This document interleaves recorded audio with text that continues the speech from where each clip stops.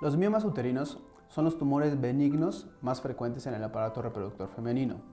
Se presentan con mayor frecuencia entre los 35 y 45 años de edad. El tamaño es muy muy variable, desde pequeños milímetros hasta grandes tumores que pueden ocupar todo el abdomen. Las, las, causas es una predisposición constante a estrógenos, condiciones en las cuales los estrógenos están constantemente en el organismo de una mujer.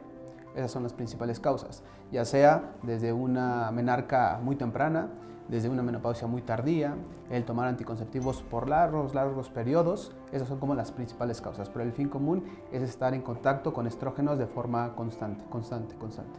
Las características con las cuales una mujer puede sospechar que tenga miomas uterinos es porque se, se presentan por sangrados uterinos abundantes, sangrados transvaginales abundantes. En muchas de ellas hay distensión abdominal y en muchas de ellas dolor pélvico, dolor crónico, dolor pélvico.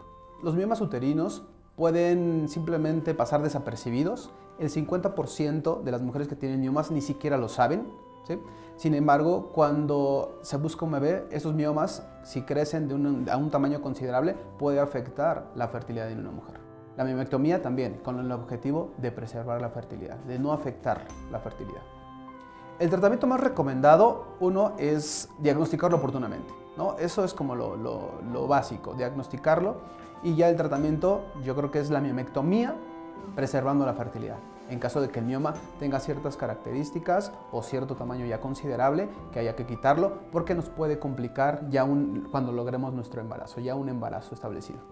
El procedimiento para lograr el embarazo varía mucho, depende las características de cada paciente. No es un mismo tratamiento para cada paciente, sin embargo, se busca el mejor tratamiento. Siempre se busca el beneficio de la paciente, aún así tenga miomas pequeños, medianos o de grandes elementos, como así lo llamamos.